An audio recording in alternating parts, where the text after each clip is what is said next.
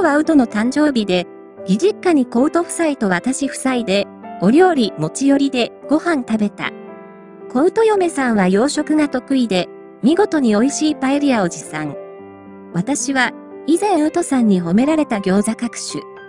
トメさんは、得意料理のブリ大根と、上品な鰹だしのお吸い物。あっさり味のブリ大根はとっても美味しくて、一番人気だった。コートが、母さんの煮物はやっぱりうまいな。うちの嫁、和食が下手くそなんだよ。教えてやってくれよ。と、ひたすら煮物を褒め上げ、コート嫁下げ。そこでトメさんが、母さんの煮物が食べたいならあんたが覚えなさい。教えるから。共働きなんだから、コート嫁さんに頼るな。とばっさり。私も、たまに、夫に同じようなこと言われるから、スカッとした。来週日曜日、義実家にて、夫、コートも参加で、お料理講習会が決定。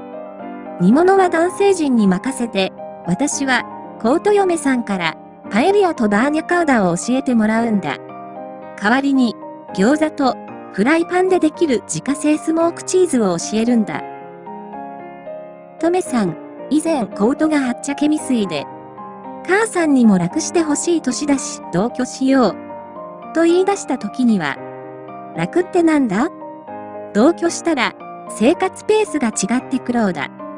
コート、いや、家事とか嫁に任せて隠居してさ。とめ、コートが家賃払えないから、実家に置いてほしくて、コート嫁さんが、家事が大好きで家事任せてって言うなら、同居して家事を任せないでもないが、そしたら私は働くよ。家政婦協会にでも登録してさ。料理も掃除も大好きなんだから。と、きっぱり言い切って撃退してました。トメさんの逸話をもう一つ。結婚の挨拶に伺った時の話。墓にも挨拶に行ってほしいから、朝一で来いと言われて、当時は、ちょっと離れて住んでたので、夜行バスで伺った。朝一に行くと、朝ごはんまだだろう？食べなさい。と出されたものが、大根の味噌汁、大根の葉の浅漬け、大根の皮のきんぴら。で、午前中に墓参りして、昼ご飯に出されたものが、近所のお肉屋さんのコロッケを挟んだコロッケパン。午後は、近所の親戚に挨拶に行くように言われて、挨拶回りした。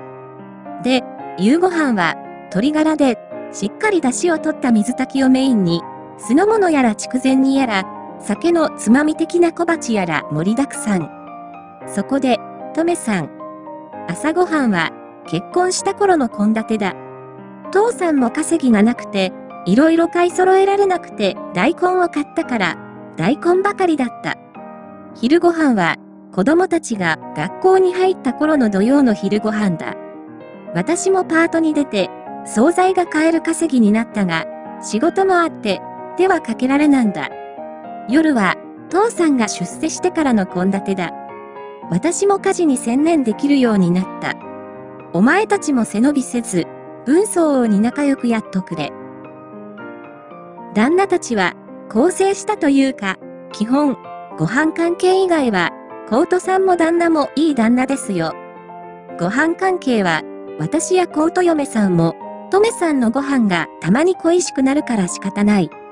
私は子宝に恵まれなかったけど、コートさんはしっかりイクメンしてます。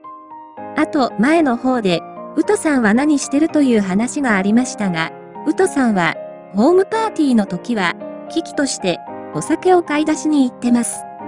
日本酒、ワイン、ウイスキー各種、料理に合わせて買い出ししてきていただいてます。